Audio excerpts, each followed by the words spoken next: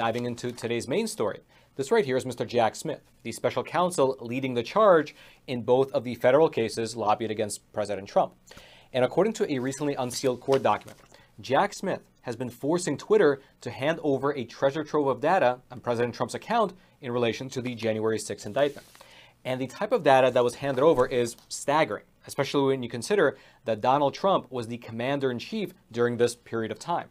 Things such as President Trump's direct messages, his deleted messages, posts that were drafted but never made public, and even the location information of all the users who posted to the account. All that was handed over. Now, the unsealed court document that you can see up on your screen there was the transcript from a closed door court hearing. Essentially, what happened was that Jack Smith and his team of federal prosecutors, they filed a warrant against Twitter ordering them to hand over all of President Trump's personal data that was on the back end of his Twitter account. That warrant was then signed off by U.S. District Judge Beryl Howell, who, for your reference, was appointed to the bench by Barack Obama. Also, it's worth mentioning that alongside the warrant, this judge also issued a non disclosure order, meaning that Twitter was not only to hand over all the data, but they must do it without informing President Trump or his legal team.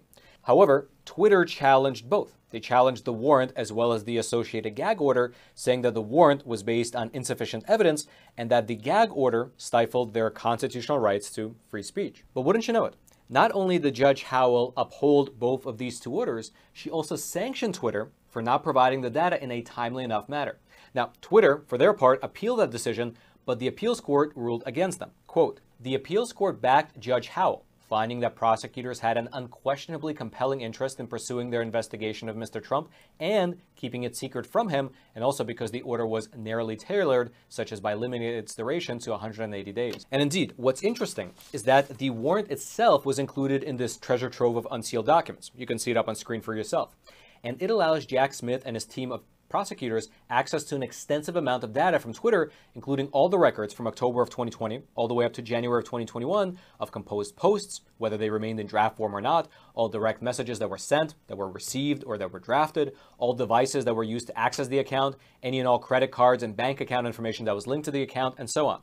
Now, just to give you an idea of the level of sophistication we're dealing with here, in what's probably, you can say, the case of the century, here it was a short exchange wherein a lawyer for Twitter explains why they don't have access to President Trump's bank account information to the judge. This exchange took place in a closed door court hearing, and the transcript of it was recently unsealed. So this is how it goes. The Twitter lawyer says, We have produced everything, but there is no credit card or bank account number information associated with the account. Judge Howell responds by saying this Really? Then how did somebody pay for that account at all? Or or identify themselves. That's just one way to identify yourself as an account user. You don't have to provide that information to use a Twitter account, to which the Twitter lawyer responds by simply saying, That's correct, Your Honor. The Twitter service is free. That is amazing. Furthermore, in regards to the gag order, the federal prosecutors argued that it was necessary in order to keep this warrant a secret. The secrecy, they said, would, quote, help make sure a grand jury considering charges against President Trump would be able to freely deliberate and prevent efforts to tamper with witnesses. However, on the flip side, in their filings, the Twitter lawyers argued that this non disclosure agreement was, for one, violating their constitutional First Amendment rights, and second of all, it violated the Twitter terms of service, which tells users that they will be notified of any disclosures of their private account information. Here's specifically the argument that Twitter was making in their court filings. Quote, the non-disclosure order in this case is particularly significant given that the warrant seeks the contents of private communications sent to or from the then President of the United States that raise unique and complex issues of executive privilege. Furthermore, the lawyers for Twitter also made the argument that by informing President Trump of this warrant, it would allow his legal team the opportunity to address some of the legal issues surrounding a demand by the government for presidential communications. Here's what they wrote, quote, Allowing Twitter the opportunity to notify the account holder would afford the user, the principal party in interest for executive privilege, an opportunity to address the legal issues surrounding a demand for presidential communications in this unique context, and give this court a full adversarial process in which to evaluate them. Essentially, under the new leadership of Elon Musk, this Twitter lawyer was calling for full transparency. However, the officials representing the government in this case, they made the counter argument that, quote, President Trump has a history of obstructing investigations, pointing to the report issued by former special counsel Robert Mueller and that the disclosure would harm its investigation. And then lastly, Judge Howell, who appeared to be on the side of the prosecutors in this point, she badgered the Twitter lawyers regarding their true motivations for challenging the gag order. Here's how that particular exchange went in the closed door hearing. Quote, Judge Howell said, Is it because the CEO, referring to Elon Musk, wants to cozy up with the former president? The Twitter lawyer responds by saying, No, Your Honor, it's whether or not they are facially valid. The judge responds by saying, It couldn't be that Twitter is trying to make up for the fact that it kicked Donald Trump off of Twitter for some period of time, that it now is standing up to protect First Amendment rights here, is it? To which the Twitter lawyer responds by simply saying no. And so, with all that being said, the appeal ultimately fell through, and Twitter has been ordered to hand over all of President Trump's back end Twitter data over to the federal government.